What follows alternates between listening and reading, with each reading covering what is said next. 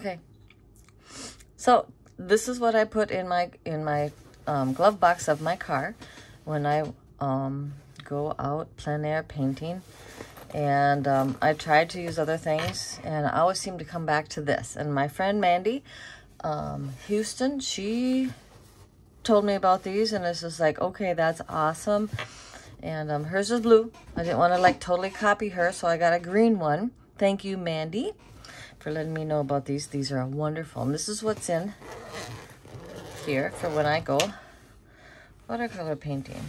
So I start out with, I have a fountain pen, uh, sketch ink by Latte.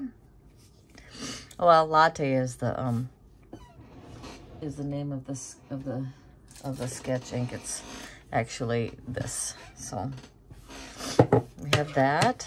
And then I have a, a paintbrush in case, or a watercolor, a water brush in case I don't have, um, I can't use water. And then I also have a pencil, which I hardly ever use anymore because I mostly just use the fountain pen. And I also use the liners, the pigment liners.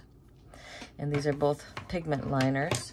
So that's, um, I don't particularly care for using pencil anymore. I should, but um, it's okay and I don't have to. So, all right. And then I know this looks just amazingly uh, dirty, but it's actually very clean. It's been washed and folded up and put back in here. So after a while, it just looks like this because it's stained with watercolor. And then don't forget the water cup. And it's a drinking cup. They come with, this one come with a cover, which I don't use. The neat thing about it is you don't, um, you could get one of those dog watering dishes that have a little hook on it that you can take with you. But that works really nice for my watercolor when I pour water.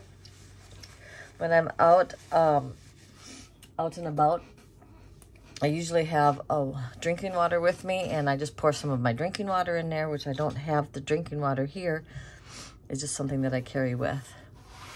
And um, there is two openings to this. So we'll start with my paints. These are Winsor Newton Cotman colors.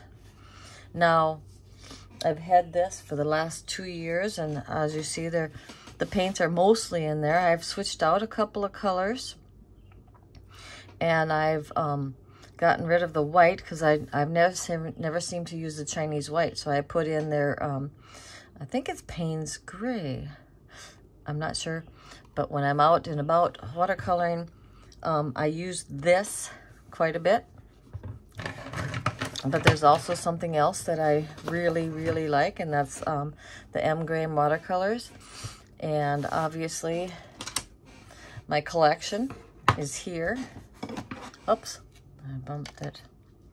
Um, this is for my desk.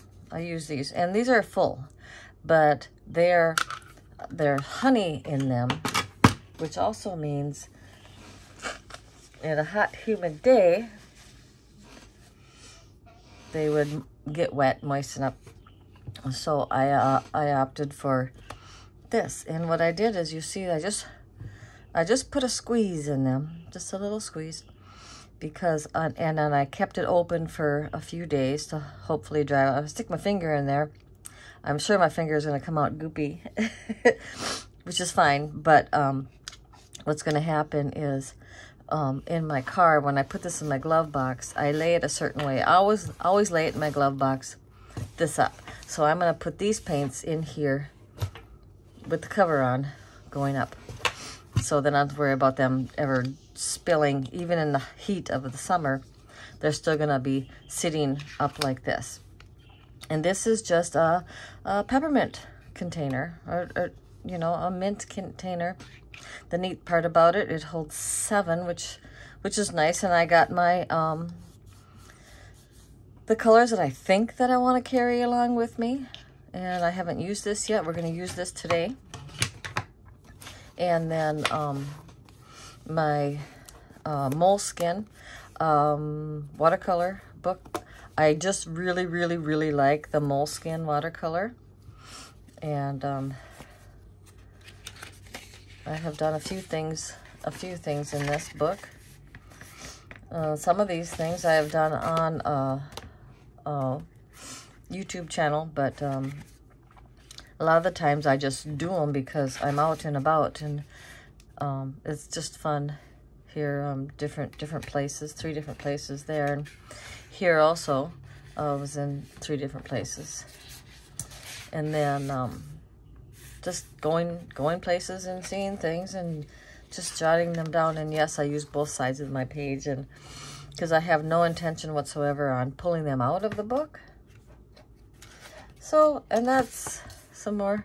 Um, that's a funny story. I went up to uh, Minnesota to get an oil change, and my friends were saying, like, um, from Virginia, where I live, you drive a long way to get an oil change. It's like, yeah, so I did. I did that. So, and then um, my getting prepared for my son to get married, and which is really nice. I kept that as a as a reminder, and my daughters.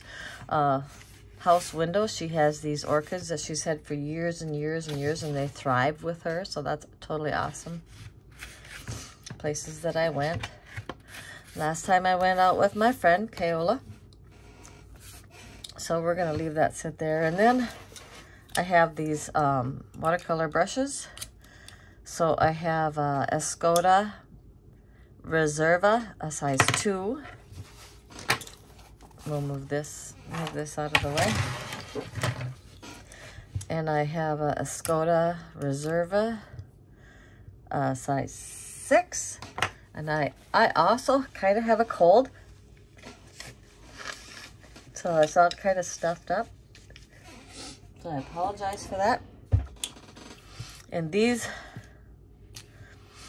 are um, actually very generic type um, travel brushes, uh, four and an eight, and, but they're really nice. So, and I, when I got those, I decided the Reserva was so much nicer, but that's, that's another story. I um, decided to just go ahead and, so what we're going to do today is I have water.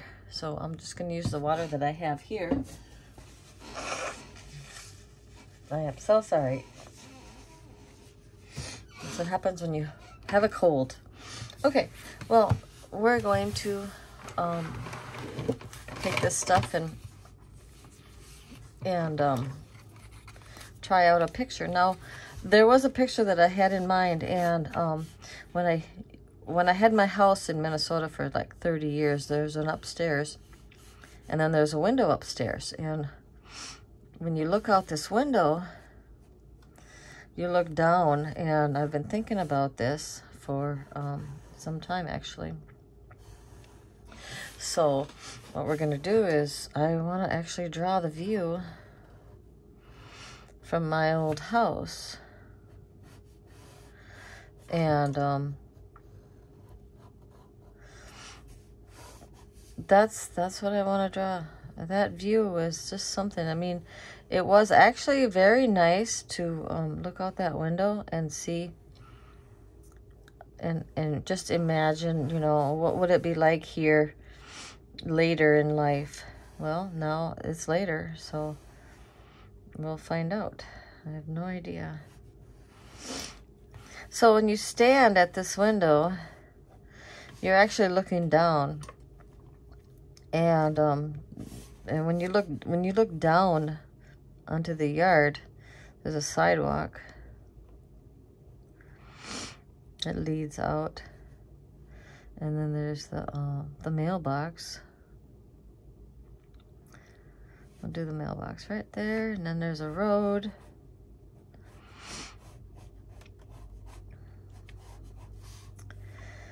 And somewhere, I'm not sure if I remember. Oh, over here, there's a pole. And that pole does not is not in the house, so that was a bad mistake. We'll just do like that. There's a pole outside over there, which is funny. There's a there was a building across the street too.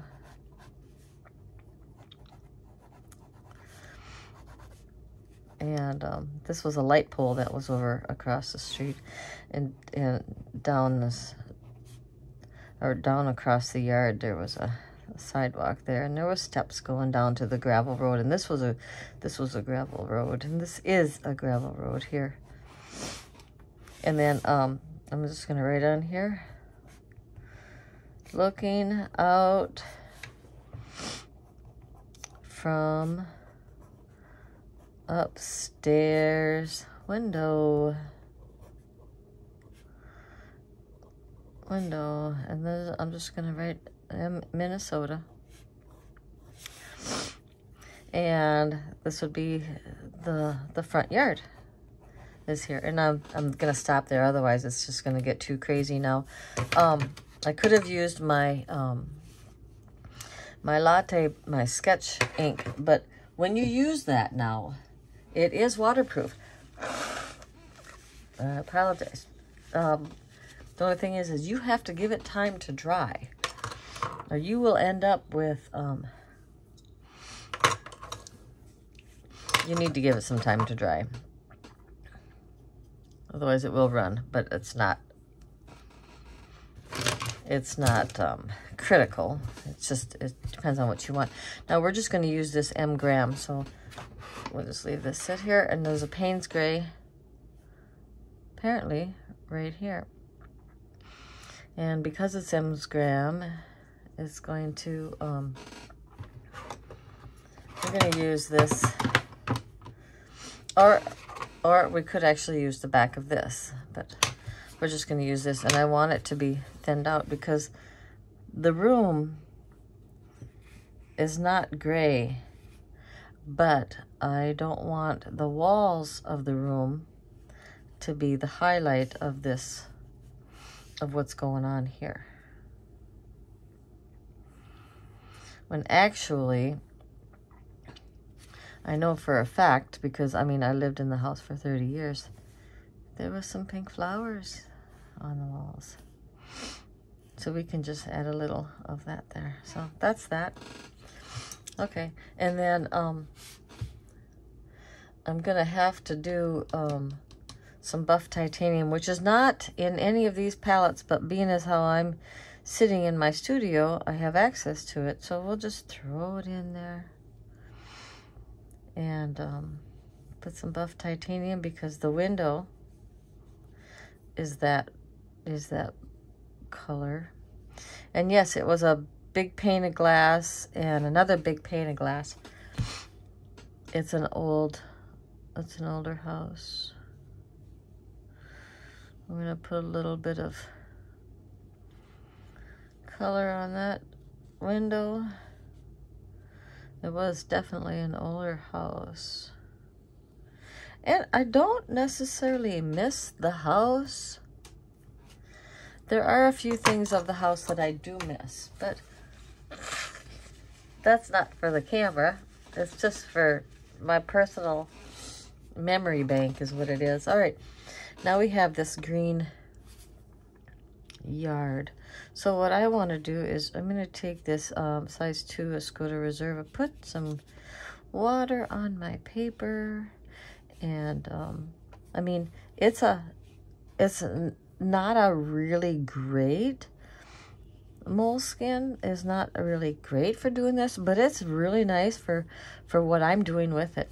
Now this green is not something that I would want, but if I was out and about with my, with my set, I would be have access to this other set. So, so with that in mind, I can use these other colors. I'm not just stuck with those colors. So we're going to put a little green in there. And it doesn't have to be, um,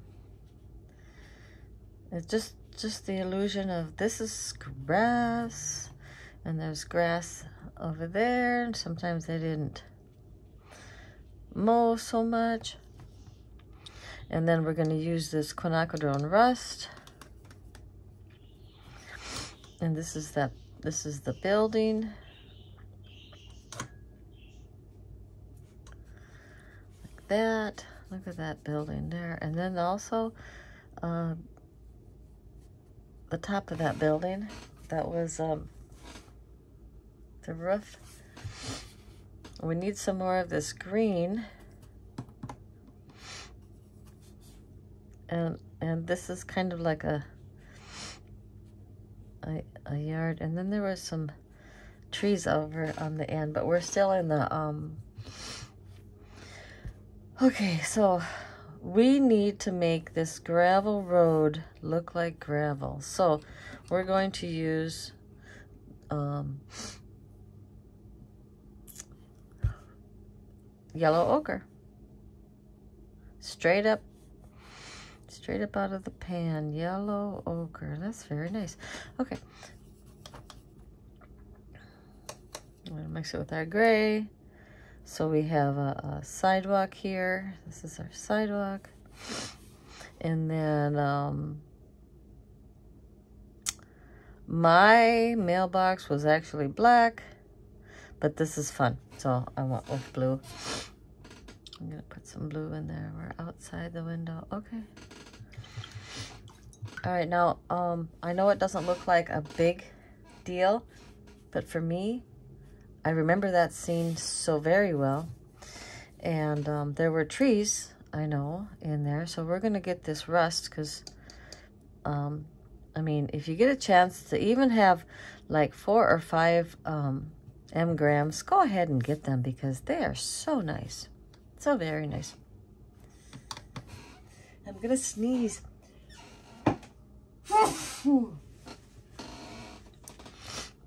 Okay, let's put some of this in there. I know there was a I know there was a tree here. I know there was a tree here too. A little bit of Payne's Gray.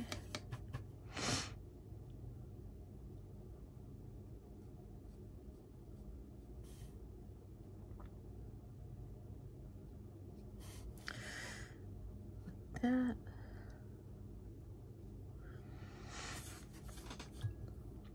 And then a little green for the tops. And then I think we better call it a day because that's the thing is when you get too um, overzealous with your painting, you end up getting too much.